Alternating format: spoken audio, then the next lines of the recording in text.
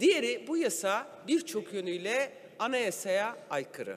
Başta ikinci madde ve onuncu madde olmak üzere diğer bütün maddeleri saymayacağım süre kısıtlı olduğu için. Bir kere toplumun önemli bir nüfusunu oluşturan Alevi yurttaşların inançlarını tanımıyor. Alevileri Alevi olarak kabul etmiyor. Din ve vicdan özgürlüğü, anayasa önünde eşitlik özgürlüğü, Türkiye Cumhuriyeti Devleti'nin layık demokratik bir hukuk devleti olduğu ilkeleri tamamen yok sayılıyor. Ya Alevileri bir kültür topluluğu, bir turizm topluluğu gibi tanımlıyor. Cem evlerini ibadethane olarak kabul etmiyor. Zorunlu din derslerine dair hiçbir şey söylemiyor. Bir kere bu ülkede artık Avrupa İnsan Hakları Mahkemesi kararları tanınmıyor, uygulanmıyor.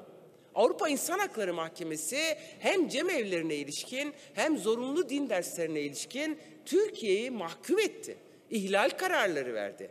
Ve bu ihlal kararlarına rağmen bugün milyonlarca Alevi yurttaşın, Alevi toplumunun inancına saygı duyulmuyor.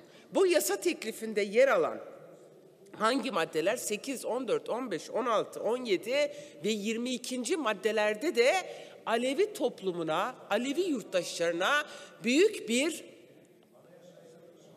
e, büyük bir haksızlık var, hakaret var. Neden?